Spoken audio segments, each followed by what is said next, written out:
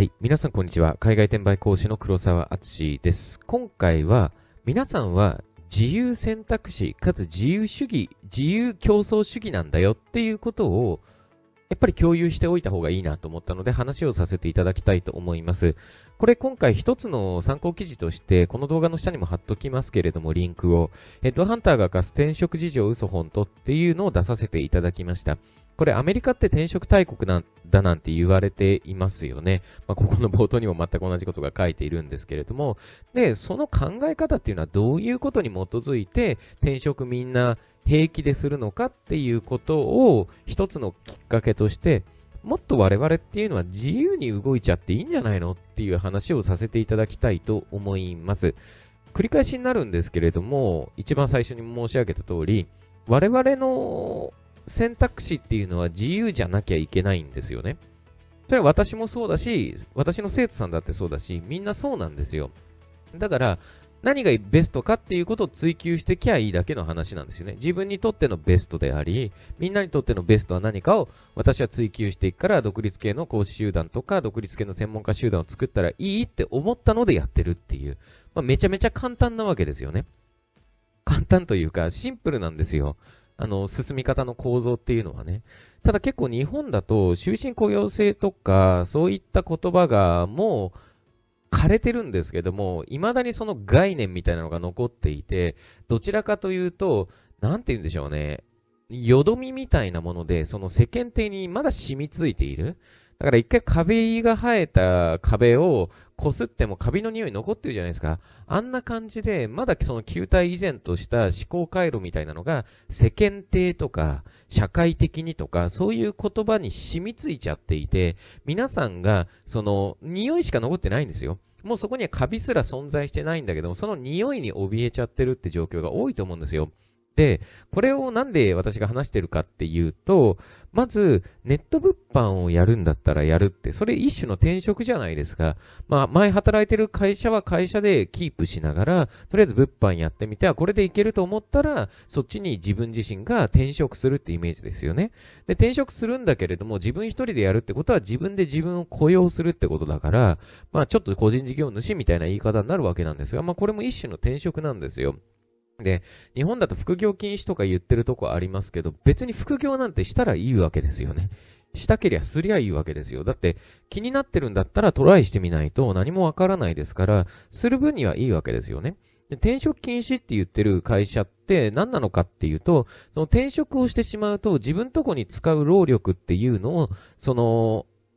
まあ特に副業とかしてしまうと、自分とこで使う労力っていうのを他のとこにも使っちゃうから自分の仕事の効率が下がっちゃうんじゃないかっていう考えと、さらにその後転職されちゃうと自分とこが困っちゃうんじゃないかっていうふうに思ってるんですけど、これ論破させていただくと、まず副業をしたっ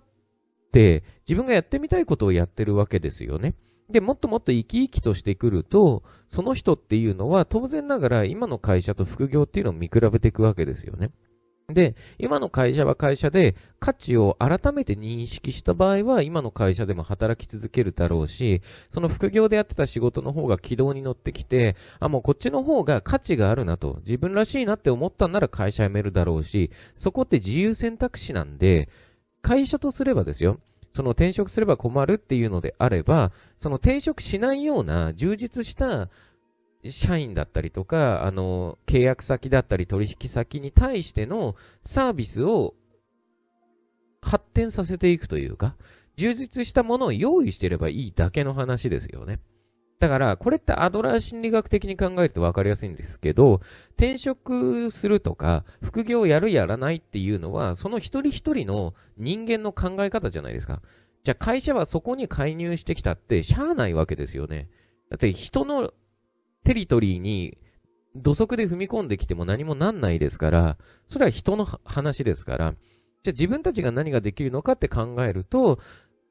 例えば、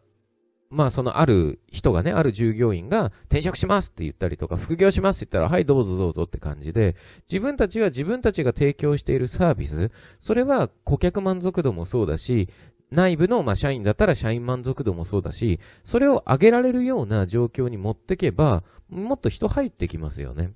だからその人が辞めたら、辞めた分の仕事を補填するための他の人が入ってくるわけなんで、問題ないんですよ。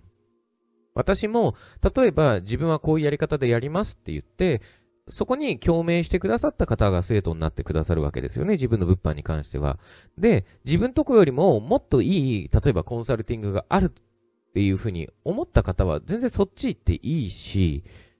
そっちの方がいいと思ったらそっちのコンサルを受けたっていいわけじゃないですか。そこを私がこう言ってるんだからこうしなさいっていう必要は全くないんですよね。で、一つの会社に働いた、働いてる人がよく陥っちゃうことなんですけれども、なんだろうな、その会社のやり方がベストっていう前提で全てのことを考えていくのって無理だと思うんですよ。例えば、ここにあるんですけど、これ、エグゼクティブは金融、契約による就任がほとんどです。まあ、要するに、あの、上司ですよね。アメリカ企業のエグゼクティブは、契約による就任がほとんどで、1、2年単位の契約で、経営やマネジメントを任されている。つまり、頻繁に経営者や上司が変わる可能性が高く、その都度方針や取り巻く人材が変わりますって書いてあります。これと、もう一つプラスアルファ付け加えさせていただくと、同じ人が、同じ会社だったら会社を経営してても、方向性が変わったりすることってあるわけですよ。だから、同じ人についてるから、それは絶対正しいってわけじゃなくて、同じ人についてようが、その人が方向性変わったんだったら自分と合わないんだから、そこで続けていく必要なんてこれっぽっちもないわけですよね。だってその人についてったんじゃなくって、その人、プラスその人のそのかん、ある考え方に惹かれてるからついててるわけですから、その人が別の考え方になったりした場合って、結局のところ我々が、すいません、ピコンってなっちゃった。その人が別の考え方になった場合は、なんて言うんでしょう。もう違う人になってるのと同じですよ、だから。経営者が変わったり、上司が変わったりしてる状況と同じだから、そこにはついていけないよって思ったらやめりゃいいじゃないですか。だってもう別会社なんだからもうそれは。思想的にね。で、別の環境に飛び出したくなる心境はご理解いただけるでしょうみたいな話をしてますけど、これは本当になんか人、人自体が変わらなくてもいくらでも起こり得る話だと思うんですよね。だから、結局私が申し上げたいのって、我々っていうのは自分たちの思想とか思考ですね。いつも思考って言ってるんですけど、それとは別に思想、心情に近い考え方ってことですね。思想っていうのは。思考よりも。思考っていうのは考え方じゃないですか。思想っていうのは心情とか、そういったもの。まあ、英語だと faith なんて言うんですけど、信念とか心情に近い考え方を思想って言うんですが、その思想が合わないのであれば、結局のところ、そこにいることがデメリットになるわけですから、自分が変わっても問題ないってことですね。っていうことで考えていくと、我々っていうのは、そのわちゃわちゃしたことを考えなくても動きやすくなるんじゃないかなっていうのが自分の考え方です。世間体がとかね。私の場合だと独立系の講師集団作るんで今までの生徒はどうするんだとか、まあ、わちゃわちゃね、言おうと思えば言えるのかもしれないですけど、だから自分はもっとベターなものを構築していくんだから、今までの生徒さんにしわ寄せは来ないですよと。しわ寄せは来ないです。当然なんですけどね。もっといい、自分にとってはもっといい、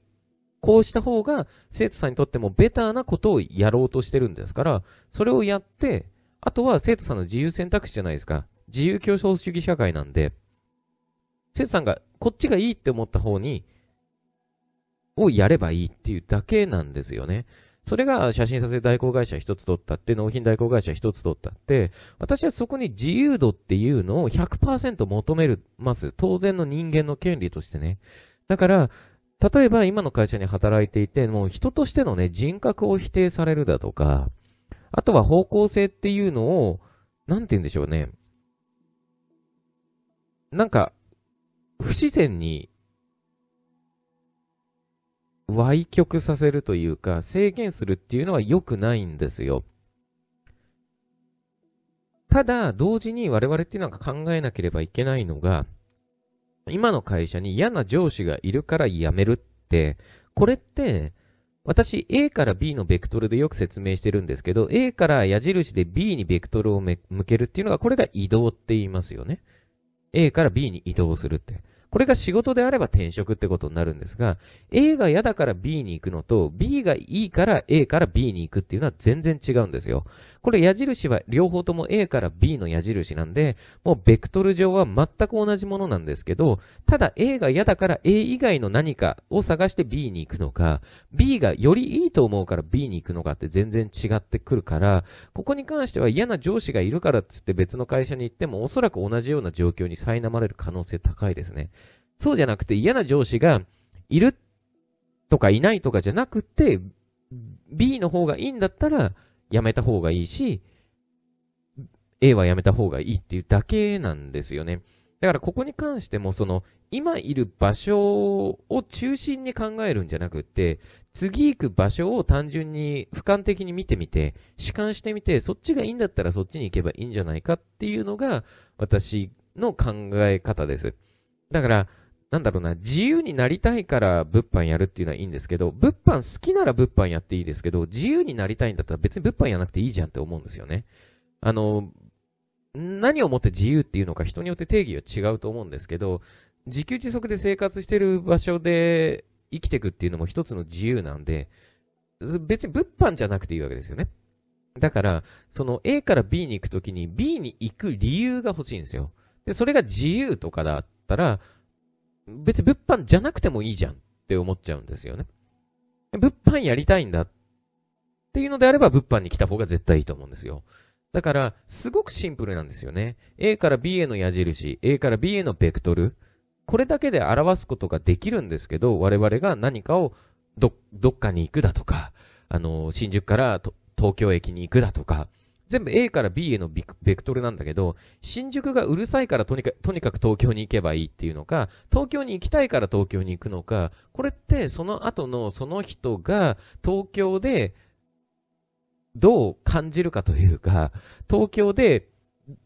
どういう人生を送るのかとか、これかなり影響してきます。なんかから逃げてどっかに行っても、そのどっかでまた何か逃げたいものが出てくるだけなので、良くないってことなんですよね。だから、私よくお問い合わせするときに話すんですけど、物販がやりたいんだったら物販した方がいいと思うし、なんかが嫌でどっか行くんだったら別に物販以外にも色々あるから、まずもっともっと情報を仕入れてみましょうと。で、情報を仕入れる一環としてお問い合わせいただいて私電話相談もしてますから、私は物販の良い面も悪い面も大変なことも面白いことも全部話しますと。で、それは一つの情報として収集すればいいだけなんですよ。皆さんが私に例えば問い合わせの連絡をくださるっていう行動を行って、電話の予定、予約を入れるっていう行動を行って、で、電話したわけですよね。それ自体めちゃめちゃ素晴らしいことだから、その調子で他のいろんな、まあ気になってるコンサルティングだとかね、気になってるビジネス、商売、そういったところの、に連絡を取ったりしてみて、いろいろ並べていいんですよ。皆さんの目の前に。皆さんの机にバーって気になることを全部並べて、そこからベストを選択すればいいだけですから、そこは本当、なんて言うんでしょう、その、私は海外転売のコンサルティング、中国、アメリカですっていうコンサルティングの講師ですけど、私はまあ一つの選択肢ですから、選ぶのは皆さんの自由選択肢であり、私は自分がこのやり方がベストだって思ってることをお伝えしてるんですが、その私っていうのも結局自由競争主義社会の中の一コマなんですよね。だから他にもいろんなコンサルティングっていうのはあるから、その中でベストなものっていうのを選べばいいんじゃないのかなっていうふうに思ってますし、そこに圧力とか制約とか、なんかもちゃもちゃしたものが生じすぎるのっていうのは良くないっていうふうに、個人的にはすごく感じてます。で、この記事、まあ、読み進めてみるといろいろ面白いんですけれども、結局のところ、これですよね。転職するかどうかっていうよりも、ポジションが上がるかってことなんですよ。要するに、このポジションっていうのは、これはアメリカの転職の話なので、あの、ポジションが上がるっていうと、位とか、あとは給与的なものとか、あとは自分の自由時間とかですよね。で、結局のところ、我々って人生のポジションがその移動先で上がるかっていうことに基づいて選択していくべきじゃないですか。当然ながら。ここよりももっと自分らしい生き方ができる場所、一言で言うと私はよく言ってる自分の居場所探しって言ってるんですけど、その自分の居場所がたまたま大学卒業して初めて就職した会社が自分の本当の対の住みかになるかどうかって、これ可能性的には結構低いと思うんですよ。だってたまたまじゃないですか。ちっちゃい頃たまたま渡されたバイオリンを弾いてたけれども、でもバイオリンよりもベースが好きだっていうふうに思う人だっているわけですよね。だから、今までの自分っていうのは否定しちゃいけないし、私はもう常に言っていることが、感謝こそすれど、恨むべからず、恨むことなかれっていう言い方をしてます。すべて自己責任。そこまで選択してそこに来てるのは自分なんだけど、もっとベターな選択肢が出たのであれば、ベターな選択肢を選択して叱るべきなんですよ。だって今までも選択してきて、今の場所にいるわけだから、これからも選択していっていいわけなんですよね。だから、そこが、なんて言うんでしょう。もっともっと、あのー、肩こりになるぐらいなんか肩にいろんなものを乗っけて考えあぐねてる、考え込んでいる、二の足を踏んでいる、躊躇してる人が結構多いように私は感じるんですけれども、結局のところ我々は、もう繰り返しになりますが、日本は資本主義で、その中で自由競争主義なんですよ。で、我々が持っているのは自由選択肢なんですよ。で、人であっても、なんかビジネスであっても、特許を取ったものだったら別ですけど、基本的には独占禁止なんです。自由なんです。私が海外転売やってるからみんな海外転売できないわけじゃないですよね。アリババの商品、誰かが仕入れたもの、アメリカのアマゾンで売ってたとしたら、その商品も絶対仕入れないわけじゃないんですよね。だって自由だから。自分たちで特許的にね、衣装権を取ったアイテムであれば、その衣装権を取った、米国だとパテントって言うんですけど、そのパテントを取った人のものですけど、そうじゃないじゃないですか。ビジネスっていうのも。物販っていうのものを一つ取ってもね。だからお互い五分五分なんですって。仕事をするっていうのは。要するに、例えば、そうですね。まあ私が専属の代行会社で講師やってますって。で、カリキュラムっていうのは、その生徒専属の代行会社が作ったカリキュラムですって言っても、そのカリキュラムだって半分自分が作ってるわけですし、で、そもそもその人、なんだろう、カリキュラムで教えてるの私ですし、その私が教えてるのって、もう10年以上培った講師経験っていうのを活かして教えてるので、じゃあどっからどこまでがあなたでどっからどこまでが私じゃなくて、私がいてあなたがいるんですよ。共同でできることは共同で行って、それよりもベターなものがあるってお互い思ったんなら、それぞれ契約を切ろうがね、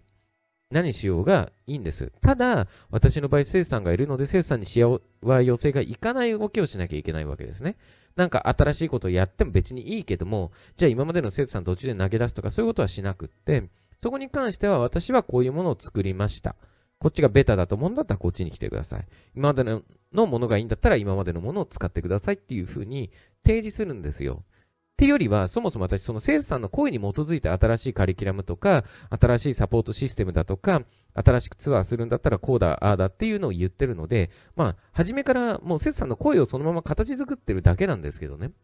でも、出来上がったものを見てみてどっちがベターなのかっていうのは考えればいいと思うし、別に私のこの講師のカリキュラムとかね、物販がどうだっていう話を抜きにして、なんか転職をしたりだとか、動いていく際に、どういうものが皆さんにとってベターなものなのかっていうのは、もうちょっと、なんて言うんでしょう、もっと楽に、だって皆さんの体で、皆さんの心で、皆さんの労力で、皆さんの時間じゃないですか。だからそこを何に投資するかってことなので、これはなんて言うんでしょう。一言で言えば、皆さんは、皆さんの筆頭株主なわけなんですよね。もう全株皆さんが持ってるんですよ。皆さんの使い方に関してはね。自分自身の使い方に関しては。だからそこっていうのは、例えば球体以前とした会社だと、なんかいろんな制約はあだこうだ言ってるんですけれども、あんまりそういうの気にしなくていい、あんまりというか全然気にしなくていいと思いますよ。だって自分がそれでもっと幸せになれるんだったらそっち進んでいけばいい話だし、それでふざけんなって言われるんだったら、ふざけんなって言い返すしかないですよね。だから、もっと我々っていうのは、自分のベストを構築すべきだし、で、私って前の動画で話しましたけど、信用をしてもらえる人間になりたいんですよ。もっともっと。じゃあそうするためにはどうすればいいかっていうと、正直に生きなきゃいけないんですね。生きるべきなんですよ。で、正直に生きるっていうことは、自分にも嘘つきたくないわけです。自分の言葉にも奥歯に物が引っかかったような言い方したくないし、歯に衣着せず自分の思ったこと言いたいんですよね。もちろんデリカシーがないことは言わないですよ。そういうことじゃなくって、自分の思想や信念に基づいた言葉っていうのは、一辺のよどみもなく、しっかりと主張すべき人間になりたいんですよ。主張できる人間にならなきゃなって思うし、なりたいんです、ものすごく。だから、その自分っていうのが、まあいろいろね、最近話をしてるので、なんて言うんでしょう。まあ例えば、節専属の代行会社さんを批判してるだとか思われるかもしれないんですけど、批判じゃなくって、自由だよっていうことを言いたいんですよ。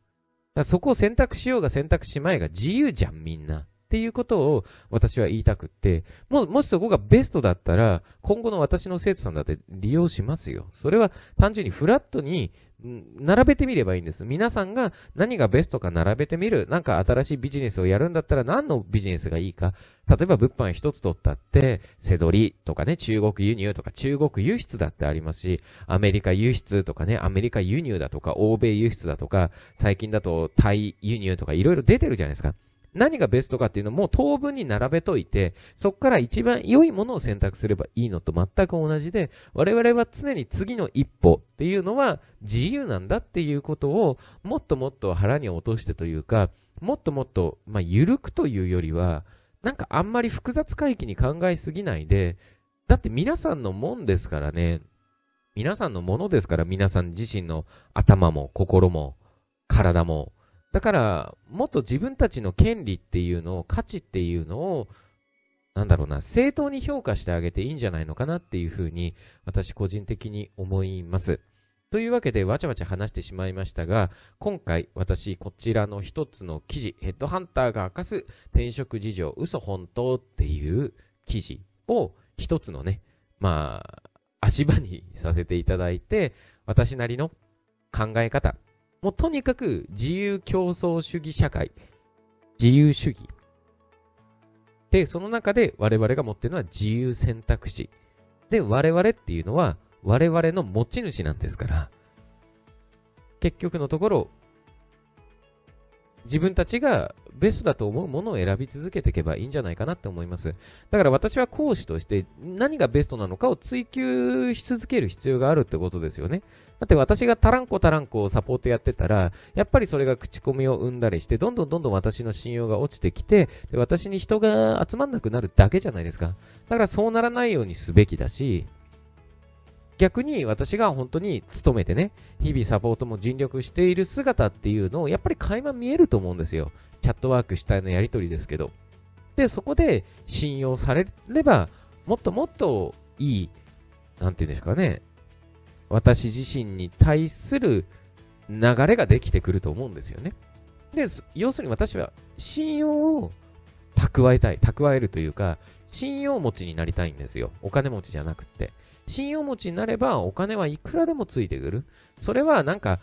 なんて言うんでしょう、教祖様になってね、あの、お布施をもらうとかそういう感覚じゃなくって、結局のところ、もっともっとお金が来る流れっていうのは、またそれがなんか学費がどうとかとかそういう話じゃなくって、みんなでもっともっとやっていけるような仲間ができますでしょ？で、一人で全部やろうとしても無理ですって、写真撮影一つ撮ったって、写真撮影代行会社に私はもう、もう、もう、激負けます。もう寺負けますよ。だって、プロフェッショナルじゃないもの、写真撮影一つ撮ったって。だから、任せるところは任せるっていうのも、実は物販を行う人みんなやってるんですよね。商品の納品だって代行会社通してやってる人多いじゃないですか、ほとんど。で、何かしらの作業っていうのも任せてる人多いんですよね。だから、そういう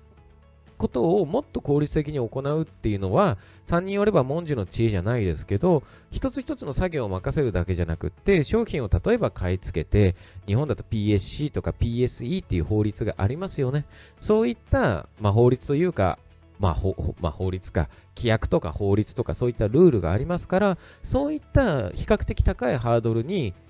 立ち向かっていく際には、例えばセラー3人でやった方がいいだとかね、そういう場合だって出てくるから、結局のところ、うん、信用をみんなが培っていけば、もっともっと本当の意味での共同作業ができて、で、その共同作業を行う中でも、依存ではなくって、ジャズのように独立した一人一人の努力っていうのが、